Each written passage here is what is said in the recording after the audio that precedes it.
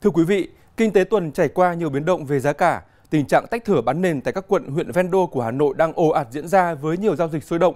Ngay sau đây sẽ là các tin tức về thị trường chứng khoán.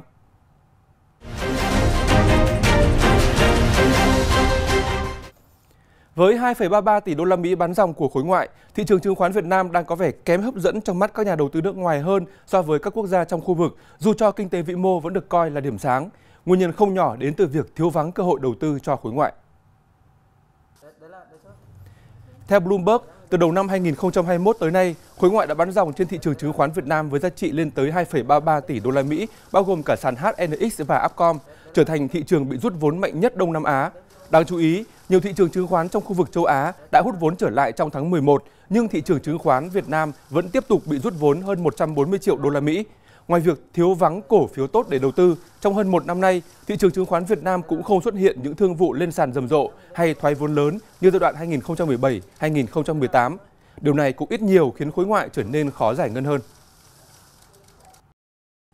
Hàng loạt cổ phiếu ngân hàng tăng giá mạnh trên sàn Upcom trong những phiên gần đây với sự thanh khoản tốt. Trong năm mã cổ phiếu tăng giá tốt nhất từ 1% trở lên trên thị trường thì có tới 4 đại diện đến từ sàn Upcom.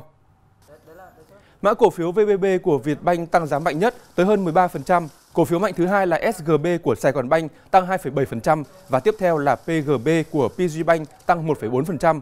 Cổ phiếu còn lại tăng trên 1% là VAB của Việt Á với mức tăng 1,1%. Trong số này, VBB, VAB và SGB có phiên tăng thứ ba liên tiếp.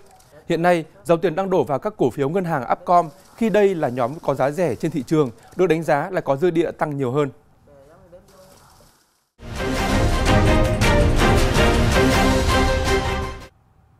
Trong phần giá cả thị trường, cùng với việc kiểm soát tốt dịch COVID-19, đặc biệt là mùa mua sắm cao điểm trong năm đang cận kề, thị trường ô tô Việt Nam cuối năm 2021 được dự báo tiếp tục tăng trưởng.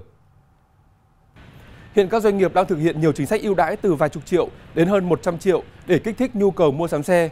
Tháng 10, thị trường ô tô tiếp tục ghi nhận mức tăng đến 120% so với tháng trước. Theo Hiệp hội các nhà sản xuất ô tô Việt Nam VAMA, doanh số bán hàng của 17 đơn vị thành viên trong tháng 10 năm 2021 đạt 29.797 xe, tăng 120% so với tháng trước. Tại thành phố Cần Thơ và nhiều tỉnh miền Tây, giá nhiều loại trái cây đặc sản bán lẻ tại chợ và các điểm kinh doanh hiện chỉ còn ở mức 20 đến 25.000 đồng một kg, trong khi trước đây có giá 30 đến 35.000 đồng. Nhiều loại trái cây đặc sản miền Tây rất giá mạnh, giá cam xoàn được nông dân bán tại vườn cho thương lái chỉ còn ở mức 15.000 đến 18.000 đồng một kg. Giá quýt đường cũng ở mức khá thấp, chỉ từ 6.000 đến 10.000 đồng một kg. Không chỉ có giá cam, quýt bị giảm thấp mà nhiều loại trái cây có múi khác như bưởi, chanh cũng đang bị rớt giá.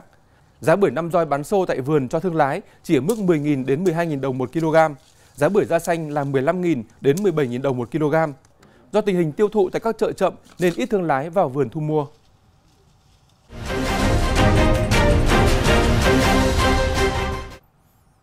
Trên thị trường vàng, nhu cầu cuối năm thường cao hơn mức trung bình đã cộng hưởng đẩy giá vàng lên mức cao nhất trong năm tháng qua.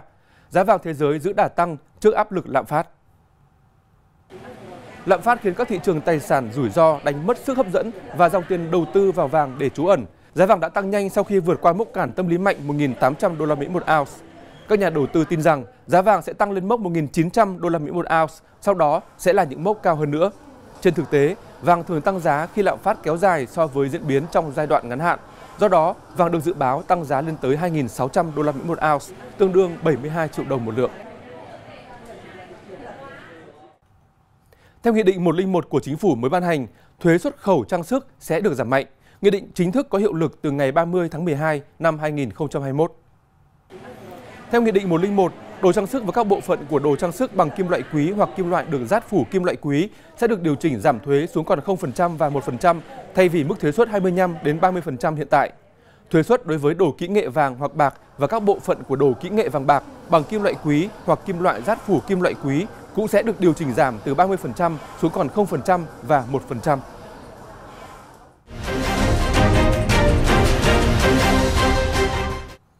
Thị trường tài chính ngân hàng vừa ghi nhận 13 ngân hàng được nới room tín dụng. Theo vụ tín dụng, ngân hàng nhà nước dựa vào xếp hạng của từng tổ chức tín dụng để cấp hạn mức tín dụng cho các ngân hàng. TP Bank là ngân hàng được cấp mức tăng trưởng tín dụng cao nhất là 17,4% do tỷ lệ an toàn vốn ở mức cao. Một số ngân hàng được nới room tín dụng từ 13 đến 16% gồm Techcombank 17,1%, MSB 16%, MB 15%, VIB 14,1%, ACB 13,1%, LPB 13,1%.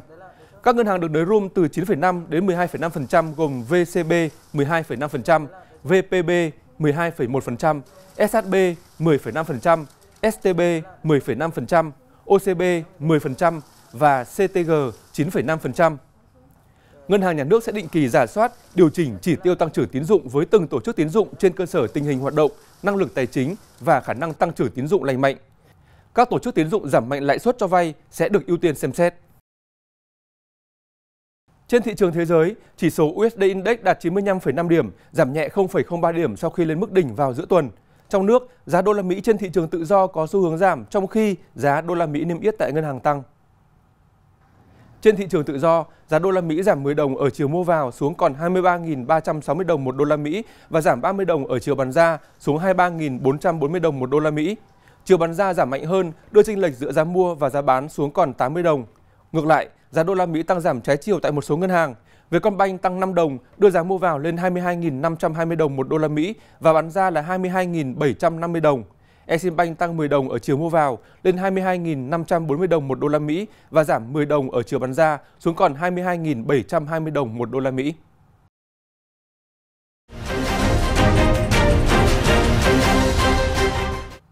Trên thị trường bất động sản, đất nền tại các quận, huyện ven Hà Nội được ồ ạt tách thửa thành các lô đất có diện tích khoảng trên dưới 100 m2 để bán cho nhà đầu tư đang giao dịch sôi động, tiềm ẩn việc phá vỡ quy hoạch, làm tăng tình trạng đầu cơ, đẩy giá xuất đất. Tại các huyện Thạch Thất, Quốc Oai, Ba Vì, Sóc Sơn, nhiều chủ đất có diện tích lớn từ 1.000 m2 đến vài nghìn m2 ồ ạt tách thửa thành các lô đất có diện tích khoảng 70 đến 120 m2 để giao bán. Các lô đất tách thửa có giá dao động từ 12 đến 18 triệu đồng một mét vuông. Những lô đất ở vị trí đẹp hơn có giá từ 20 đến 25 triệu đồng một mét vuông. Các lô đất ở vị trí đường lớn có mức giá tới 30 đến 45 triệu đồng một mét vuông và đang có giao dịch sôi động. Hiện nay, pháp luật đất đai hiện hành không có quy định riêng đối với trường hợp kinh doanh dự án phân lô bán nền, tạo kẽ hở cho một số tổ chức cá nhân lợi dụng để đầu cơ, tạo sốt đất để thu lợi. Cảm ơn quý vị đã lựa chọn theo dõi nhịp sống kinh tế. Xin kính chào tạm biệt và hẹn gặp lại.